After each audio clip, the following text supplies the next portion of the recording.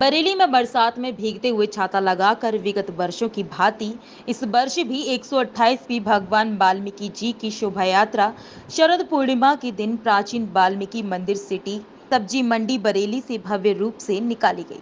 भगवान वाल्मीकि जी की शोभा यात्रा सामाजिक सद्भावना एवं अपनी संस्कृति के लिए बरेली में प्रमुख रूप से जानी जाती है। यह शोभा यात्रा कौमी एकता की मसाल प्रज्वलित कर सामाजिक सद्भावना को मज़बूत करती है।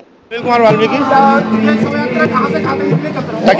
सिटी सब्ज़ी मंडी से होते हुए ब्राह्मपुरा नाला, उसके बाद आलमगिरी में जो वापस सिटी सब्ज़ी मंडी पर आई गई ये सवा सौ साल से मनाई जा रही है।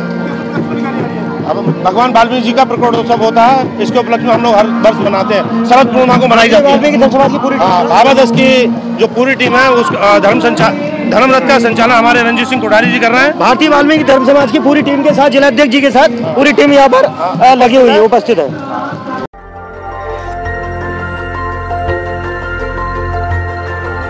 देखते रहिए डीबी भारती समाचार नज़र हर खबर पर।